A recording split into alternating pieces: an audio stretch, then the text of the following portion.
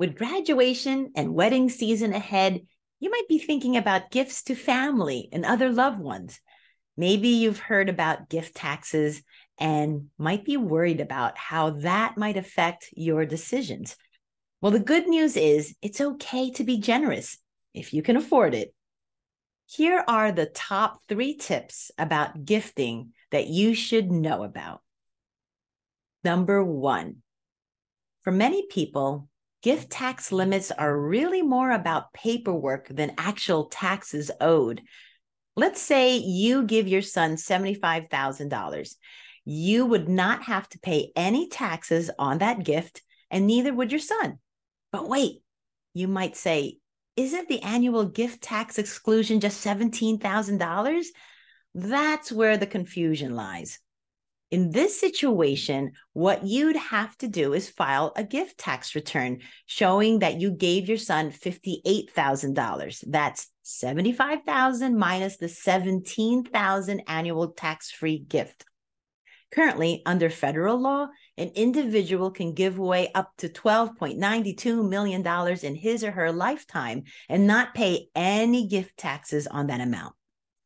Gifts over your annual gift tax limit count against that 12.92 million lifetime exemption. What that means is that the $58,000 taxable gift that you gave in the example would lower the limit of what your heirs could receive tax free when you die. Now, with such a high limit, many people won't incur any gift tax. But that brings me to number two Number two, be aware the lifetime exemption is set to drop to $6 million in 2026. If you expect your estate will exceed that amount, please, you need to call our law firm about gift strategies. Number three, limits increase. The IRS adjusts the gift tax. So you really have to look at that annually. Right now, it's $17,000 and it's up to $34,000 married couples filing jointly. And so it applies on a annual basis. So here's an example. If you give 34,000 to each of your grandkids and your kids, your cousins and neighbors, it will be without having to file gift tax paperwork. Imagine you want to help your son and his partner make a down payment on a home. If you're married, you can give them up to $68,000 that's $17,000 times four, two recipients, two givers, before you have to fill out any extra forms. Gifting is a great tool that every family should be aware of. And it is complicated.